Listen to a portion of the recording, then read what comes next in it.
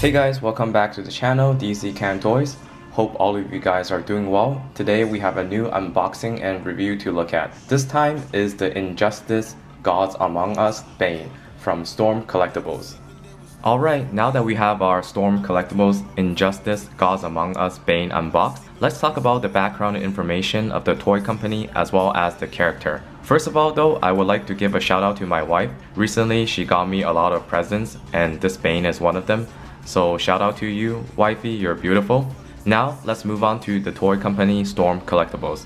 Ever since I got the Storm Collectibles Darkseid, I became a huge fan of their products. I know this Bane is not a new release, and I know I'm a bit late on the Storm Collectibles hype, but I knew I had to get this figure eventually, so thanks to my wife for getting me this figure earlier than I expected. On the Storm Collectibles official website, their info is that they are a Hong Kong-based designer and manufacturer of action figures, distributing products globally since 2010. They make high-quality collectible action figures that are officially licensed, ranging from world-class iconic figures like Muhammad Ali and Mike Tyson to popular movie and combat gaming characters like Street Fighter or Mortal Kombat. Their mission is to make products that are high quality with state-of-the-art craftsmanship. As for our character Bane, he's quite a famous Batman villain, so I won't say too much about him, but he belongs to the collective enemies that make up the Batman Rogues Gallery. Possessing a mix of brute strength and exceptional intelligence, Bane is often credited as the only villain to have broken the Bat both physically and mentally. Moving on to the aesthetics and paint job of today's figure.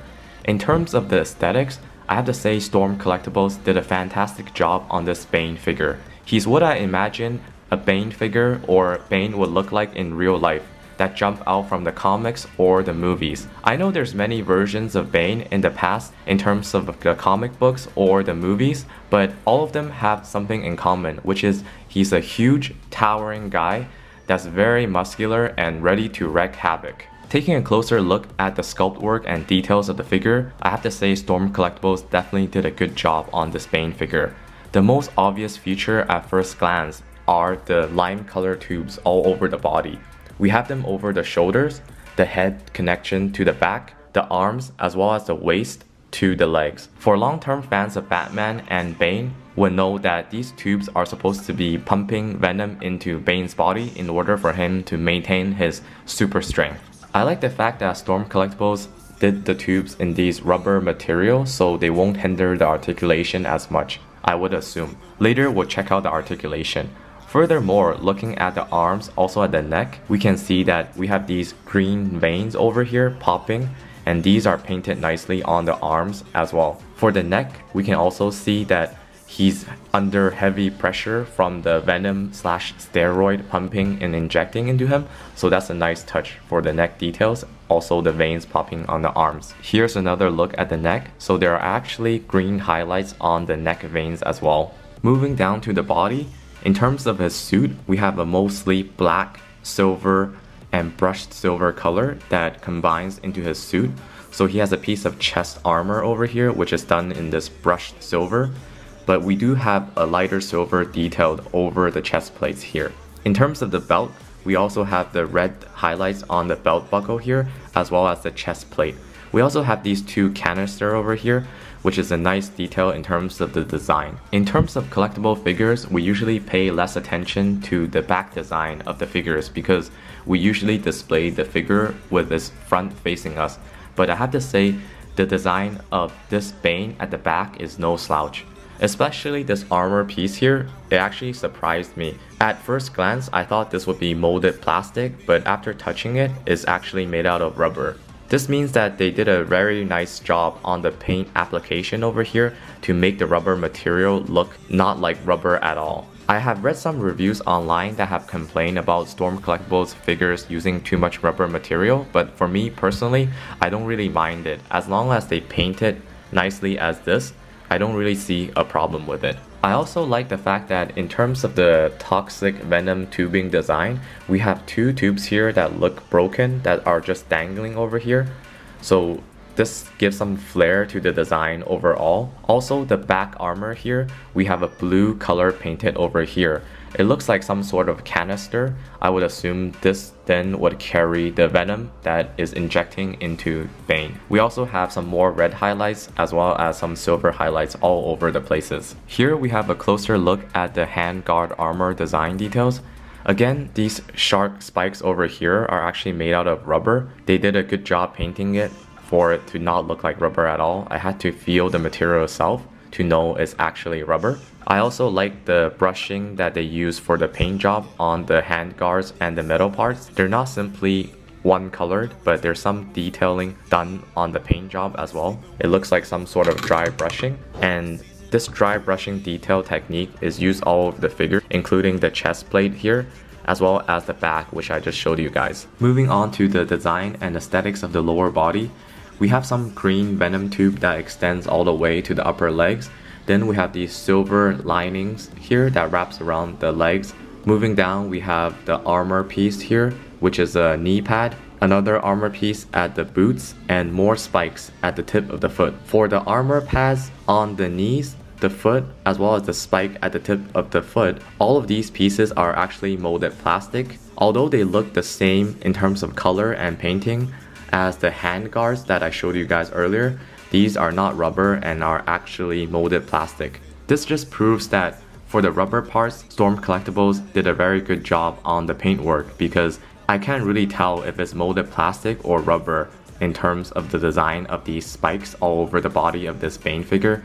I have to personally feel the part in order to know myself. That's pretty much everything I want to talk about in terms of the aesthetics of the figure. Now regarding the paintwork, I have to say this figure deserves an A plus from me. This is due to the fact, as I mentioned earlier, that some of the rubber parts on this figure are painted in a way that they don't look rubber at all. So that's very cool. Overall, although the figure does not have too many colors, we do have the base color of the body, the black and the silver of the armor and the suit, and some nice color separations from the lime looking venom tube as well as the small red highlights on the head, the chest, and the waist part of the figure. Here we have a closer shot of the arms.